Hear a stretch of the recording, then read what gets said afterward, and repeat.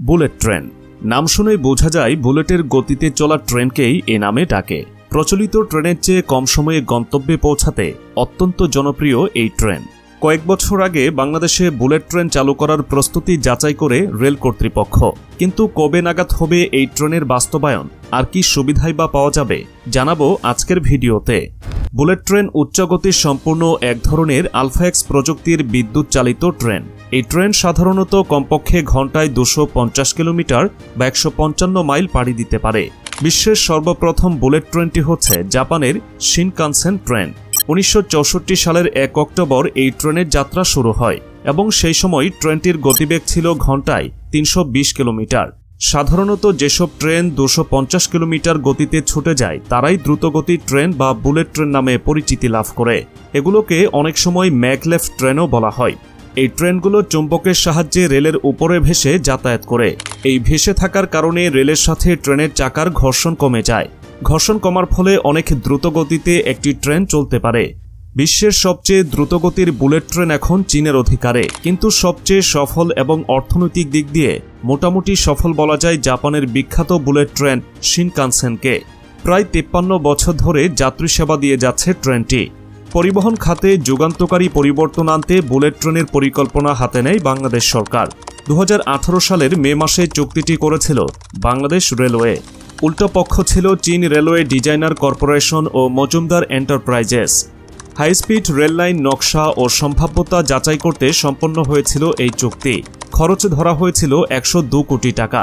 পত্রপত্রিকায় খবর হয়েছিল এমন, বাংলাদেশ বুলেট ট্রেন যুগে প্রবেশ করতে যাচ্ছে। আগে কিছু প্রস্তুতিমূলক কাজকর্ম সেরে নিচ্ছে। দু হাজার উনিশ সালের মধ্যে যাচাই সম্পন্ন হবার কথা ছিল। খরচের দায়িত্ব বাংলাদেশ সরকারই নিয়েছিল। টঙ্গী ভৈরবের বদলে নারায়ণগঞ্জ, কুমিল্লা বা লাকসাম হয়ে যাওয়ার কথা ছিল রেলপথটির। এখন যায় টঙ্গী, নরসিংদী, ভৈরব, আখাউড়া, কুমিল্লা আর ফেনী হয়ে। তাতে পথ কমে যাওয়ার কথা প্রায় শত কিলোমিটার।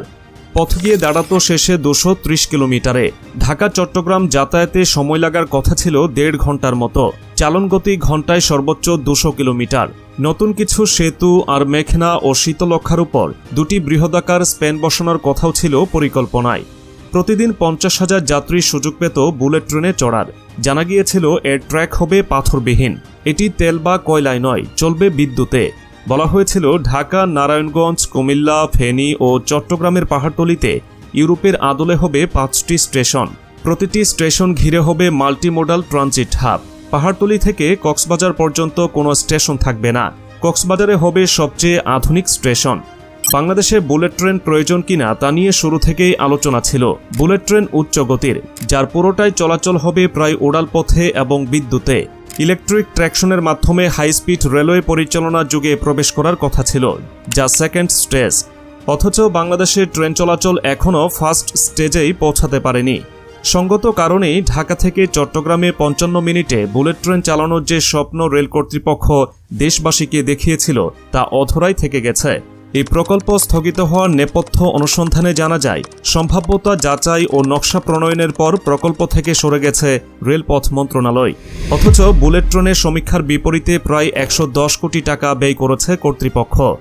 তবে আশার বাণীও শুনিয়েছেন সংশ্লিষ্টরা। রেলমন্ত্রী দাবি করেছেন যে বুলেট ট্রেন প্রকল্প একেবারে বাতিল হয়ে যায়নি।